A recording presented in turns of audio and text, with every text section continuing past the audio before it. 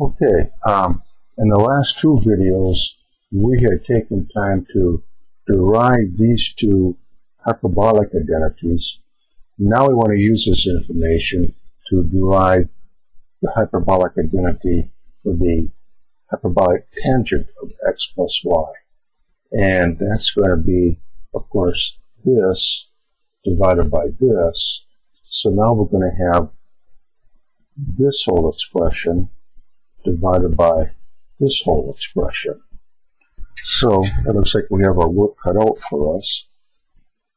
We're going to say hyperbolic tangent of x plus y will equal, and let's do it like this. Um, we'll have this divided by this denominator plus we'll have this divided by this denominator. So let's see, we'll have this denominator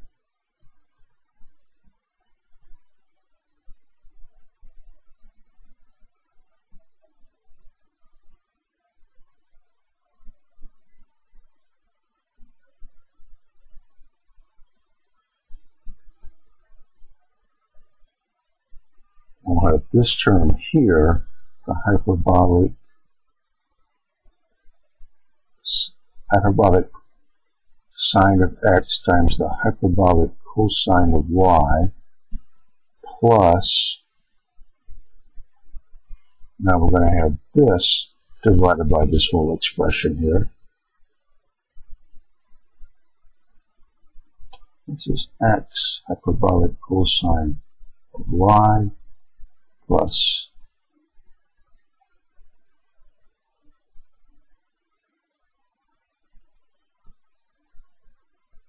and then we'll have this.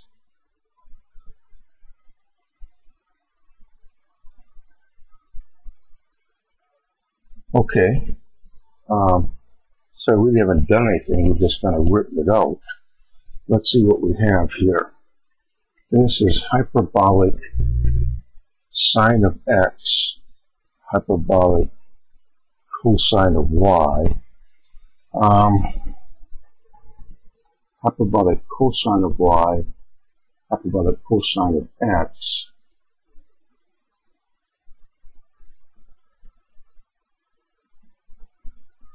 If we, maybe we're something that we might divide dy that might simplify this here. Um, what if we went ahead and divided everything by this term right here? This would give us a 1, plus we'll have this term divided by this. Look up here in the numerator, we'll have this divided by this. These would cancel out. We have a hyperbolic sine over hyperbolic cosine. That would be a hyperbolic tangent. Let's try that and see where it takes us.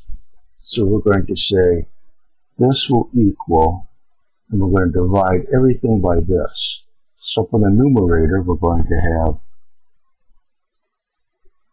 this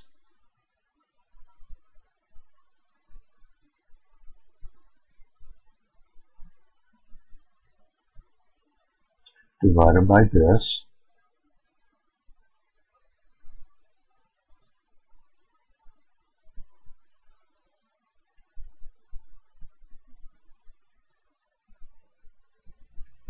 this is just going to be 1.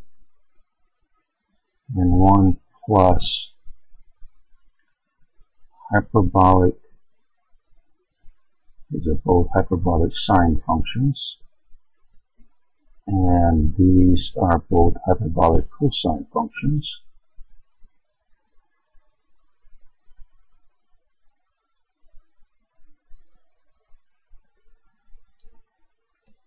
And this is just 1.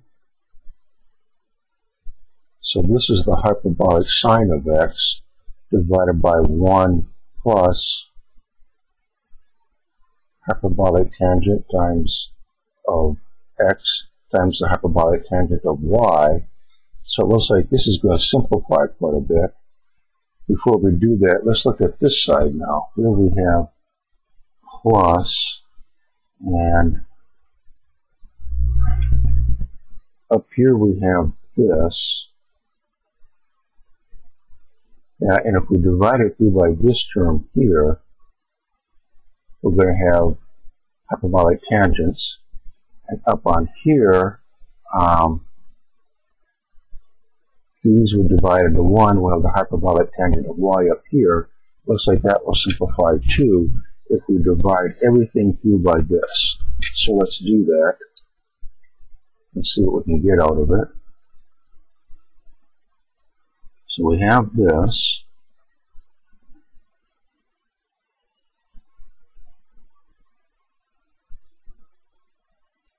And now we're going to divide everything by this. So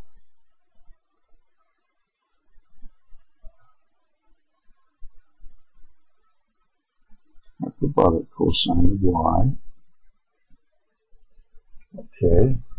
This divided by itself, of course, is just going to be 1 plus, we have this term,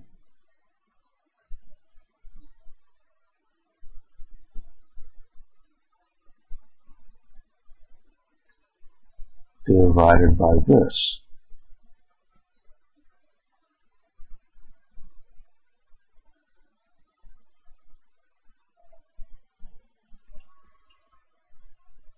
All right, now,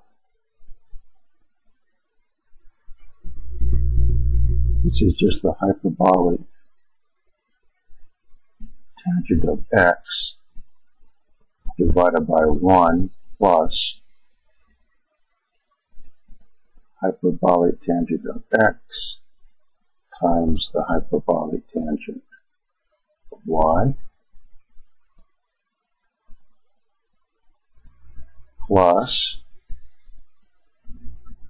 that's just 1, so we have the hyperbolic tangent of y divided by 1 plus hyperbolic tangent of x times the hyperbolic tangent of y. And denominators are the same, so let's keep right on going. This will be, we can say that the hyperbolic tangent of x plus y equals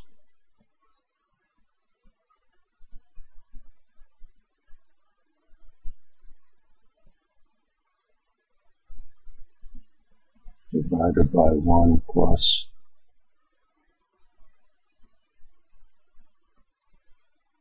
And there it is. Um, wasn't so bad after all.